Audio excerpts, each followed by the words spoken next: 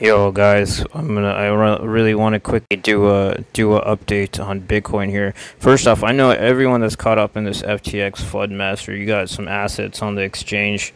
I feel you know I feel for you. Uh, it's a sucky situation, man. I, I had some some assets on FTX.us.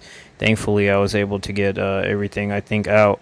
Um, but so I know the feeling of that panic. It's not a good feeling to just you know.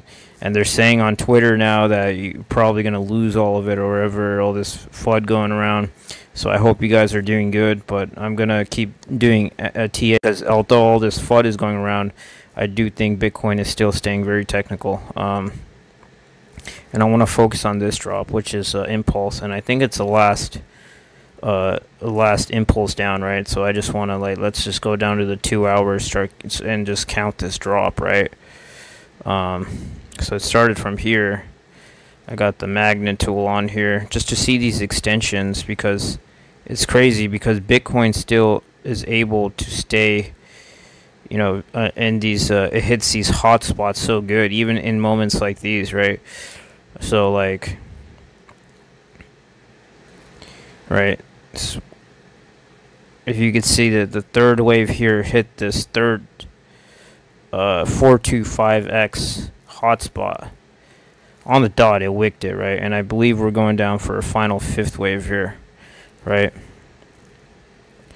Um and you could see and it, it tagged the, the the fifth here is about tagging uh, the 425 extension as well here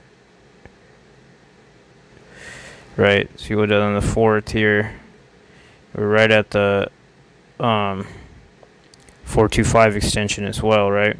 So if you want to we want to count this final drop right here right?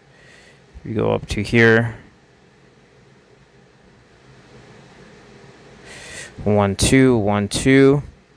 And this looks like this is your internal uh, wave uh, drop here right that's going on right now two I'm going down for the third right now Alright, so I do think the bottom is close. You know, we're then we're looking at for that final fifth wave. Uh, you know, it looks like it's probably going down to like 14k or so right now. But I will, you know, I'll keep you guys updated. Put the put the little fib channel here, right here. So, you know, it looks like this should bounce here. We got some uh, POC high time frame support around 12k 14k so this is kind of what I'm looking for is something like this here. To maybe a finish at 14k but we'll see what happens. The EWO will sort of help out as well